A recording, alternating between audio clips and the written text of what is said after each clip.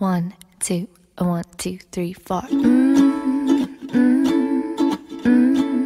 mm, mm. I will never forget the way you rescued me from summer heat with eyes as cool. Hoi, mijn naam is Karin Joon. Leuk dat je weer kijkt. De meeste van de materialen die ik gebruik, die komen van CreaBest. Deze keer laat ik je zien hoe ik dit verjaardagskaartje gemaakt heb met knoopjes en baniertjes. De techniek heeft me helaas een beetje in de steek gelaten, dus de kwaliteit van dit filmpje is niet wat het zijn moet. Het helpt wel om het in een kleiner schermpje te bekijken. Ik begin deze keer met de Decorative Buttons van Theresa Collins. Een hele mooie serie van chipboard en plastic knoopjes. Ik schets deze keer mijn kaartje Voordat ik het maak, schets ik het op een uh, papiertje, zodat ik mijn compositie makkelijk kan bepalen zonder iedere keer correcties aan te hoeven brengen op het echte kaartje.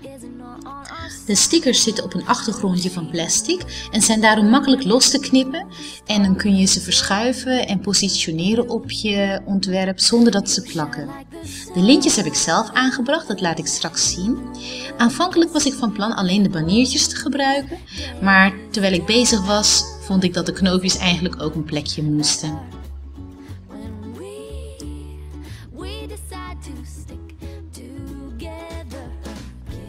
Ik wil je vandaag een techniek laten zien met de Distress Inks van Tim Holtz.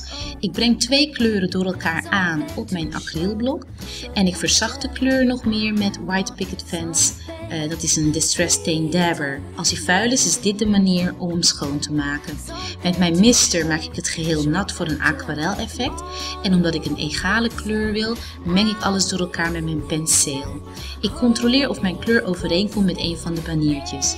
Anders dan met het craft sheet techniek, waar je papier naar de craft sheet toe brengt en niet kunt zien wat er gebeurt, kan ik het acrylblok dus heel makkelijk omdraaien en precies zien wat er gebeurt. Is ook echt heel leuk. Ik kan het beter manipuleren, ik kan er meer beter mee spelen, ik heb meer controle en ik hou zelf gewoon wat meer controle bij wat ik aan het doen ben. Dus het is een techniek die beter bij mij past. Net als met de craft sheet maak je ook het acrylblok gewoon met een tissue schoon. Ik droog mijn papiertje met mijn hittepistool en vind dat mijn kleur nog iets geel nodig heeft. Ik laat je nu zien dat je met distress markers ook heel goed deze techniek kunt toepassen. Met Scattered Straw kleur ik op mijn acrylblok, maak het weer nat met mijn mini-mister en breng deze keer direct uh, het acrylblok aan op mijn papiertje. Ik vind hem te geel, dus met een tissue dep ik er wat kleur af. Vind hem nog te geel, ik maak hem weer nat en dep er nog wat kleur van af. Dat kan heel goed met de Distress uh, inkt.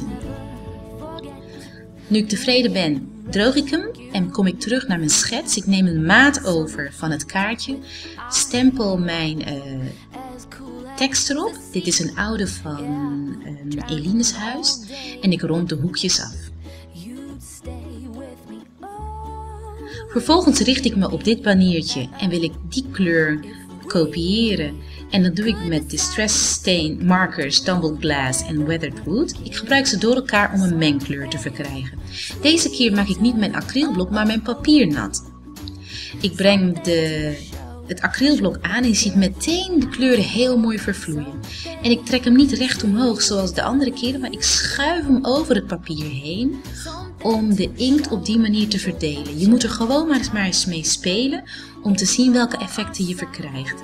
Een beetje deppen voor wat vlekken. Mijn acrylblok maak ik schoon met een tissue en het papier droog ik met mijn uh, hittepistool. Ik herhaal het proces nog eens omdat ik vond dat de kleur niet intens genoeg was. En je ziet hoe mooi en hoe gecontroleerd je eigenlijk kunt spelen met dit effect. Ik droog het papiertje met mijn hittepistool en ik wil graag wat meer interesse erop aanbrengen. Dus ik gebruik Distressed Peacock Feathers stempel ink, maak hem nat en wilde nu met mijn Distress marker de kleur nog wat veranderen. Maar dat werkt dus echt niet. De Distress marker neemt alleen maar water op. Je krijgt hem wel weer schoon en weer werkend door hem gewoon te, te kleuren op een papiertje. Vervolgens breng ik de Distress marker op op een ander acrylblok en breng dat acrylblok naar eh, het natte acrylblok en zo kan ik dus toch de kleuren mengen. Weer wat nieuws uitgevonden, live op camera. De, het acrylblok uh, stempel ik eigenlijk op het papiertje om zo een vlekkerig effect te krijgen. Het is zo leuk om daarmee te spelen. Je moet het gewoon echt maar eens uitproberen. Ben ik tevreden over mijn kleur? Dan droog ik het geheel weer met mijn hittepistool en ben ik klaar om het te gebruiken in het hele ontwerp. Ik breng het terug naar mijn schets, neem de maat over van het strookje en snijd het bij. En nu is het de hoogste tijd om alle stukjes te brengen naar het e- echte kaartje.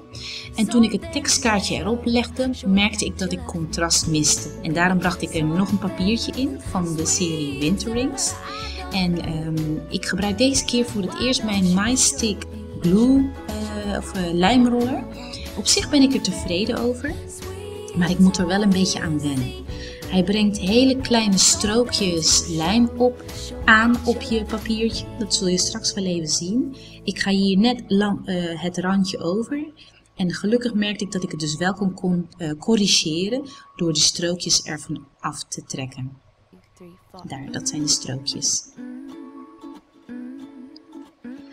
Het is altijd handig als je papier aanbrengt op je kaart om die eerst op te plakken en dan bij te snijden. Zo krijg je de perfecte maten. De tekening van de slinger is nu weggevallen, maar ik heb gelukkig mijn schets, dus ik kan er elke keer weer naar terug en breng hem uh, toch nog opnieuw aan met potlood. Deze trek ik over met een fineliner, dit is mijn Copic Multi-liner heet die volgens mij. Nu wil ik op de baniertjes lintjes aanbrengen en dat doe ik door het plastic laagje iets achteruit te buigen. Ze hebben een voorgeperforeerd gaatje, dus dat is makkelijk. Lintje erin, knoopje erin, afknippen. Bij het knoopje ging het wat moeilijker, dus die heb ik, daar heb ik eerst het plaklaagje, kleeflaagje opgeheven door er wat poeder op te wrijven. Ik heb maïzena gebruikt, maar je kan hetzelfde doen met babypoeder. De uiteinden van de lintjes wilde rafelen en dat heb ik gestopt door er met mijn vinger wat lijm op te deppen. En zo stopte ik het rafelen. Ik laat je het lintje, het knoopje even van dichtbij zien. Ze zijn heel mooi van chipboard met een tekening erop. En hier breng ik wat lijm aan. Met dubbelzijdig plakband plak ik nog wat lint boven het strookje geaquarelleerde papier. En zo breng ik het lint nog een keer terug in het ontwerp. Ik snij de eindjes af met een snijroller. Het kan ook gewoon makkelijk met een schaar. Een snijroller werkt nog wat exacter bij, bij stofjes. Ik leg mijn baniertjes weer neer waar ik ze hebben wil. Mijn tekstkaartje plak ik vast met wat foamtape. De baniertjes die hebben een zelfklevende achterkant. Die hadden de knoopjes ook, maar die hebben ze nou niet meer omdat ik het met poeder um, heb uh, geveegd. Dus die plak ik vast met glue dots. En toen uh, ontdekte ik dat ik het leuker vond om ze aan een lijntje te laten hangen. En dat doe ik dus weer met mijn Copic Multiliner. Voor het kleinere knoopje gebruik ik kleinere glue dots. Deze zijn van Zats. En dan uh, zie ik dat ik in mijn ontwerp eigenlijk nog één plekje, nog één knoopje mis. Ik had daar een, uh, een strikje getekend. En dat is een leuk plekje voor nog één knoopje. Die plaats ik ook. Plak ik ook vast met een glue dot. Ik rond het hoekje af en dan is mijn kaartje klaar. Als jij hem leuk vindt, ik geef hem weg als giveaway. Je kunt meedoen door een reactie achter te laten hier op YouTube of op creabest.nl of op mijn eigen blog karenjoan.nl. Je kunt meedoen tot en met 8 april en dan trek ik een winnaar. Ik wil je bedanken voor het kijken. Ik hoor heel graag wat je ervan vindt. Ik hou altijd van reacties. Hartelijk bedankt ook aan Creabest voor de materialen. Wil je meer weten? Ga naar creabest.nl. Meer inspiratie vind je van mij op karinjoon.nl. En ik zie je graag de volgende keer weer terug. Doei doei!